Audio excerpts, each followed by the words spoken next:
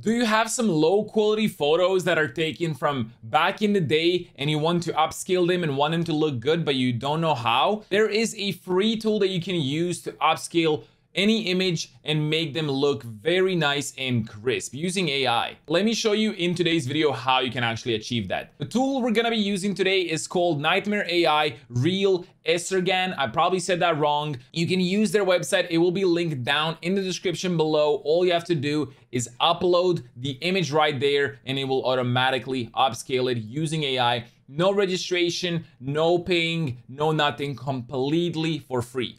Let's go and let me show you how to do that. All right, so now that we are on the website right here, you can see the demo they're using and how it looks like. You have this like low quality image of the of the cat, and then you can see how much bigger the upscaled version is and how much better it looks like.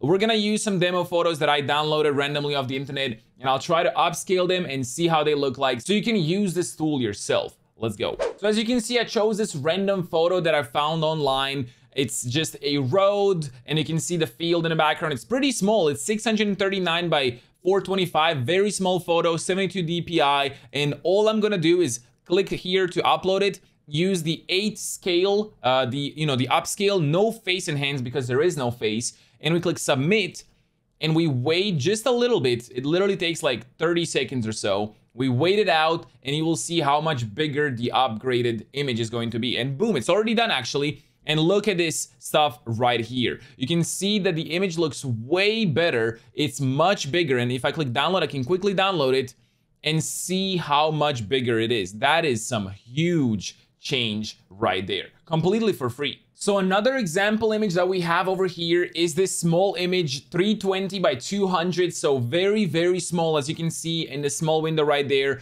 We're gonna be using a scale that is a bit smaller, so we don't wanna upscale it too much and look, you know, weird. We're gonna use scale four and I'm gonna click submit. So let's see what it makes off of this, you know, just random Shutterstock photo. As you can see, the photo is much larger, but it does add this like colorful and this um, uh, effect of like a cartoon, right? It makes it too cartoony because it's upscaling a lot of these things and it needs to fill in the gaps that are missing in the missing pixels. So that's one of the problems that you might be noticing when you use this upscale AI, uh, you know, software and these tools is that they do make some of the photos a little bit cartoony, right?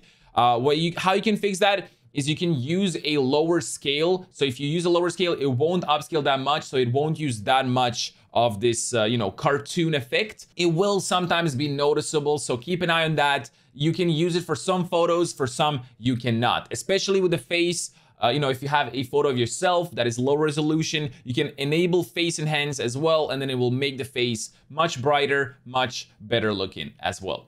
That's how you can make a lot of images look better using a simple and free AI tool. I know it's a quick video, but I hope I helped some of you out. If you got this far into it, make sure to drop a like. And if you haven't already seen my AI videos, especially this ChatGPT one, make sure to check it out right here. If you don't already know, I do stream on Twitch three days a week. Link is down in the description below. Anyway, I'll see you in the next video. Peace out and have a good one. Bye-bye.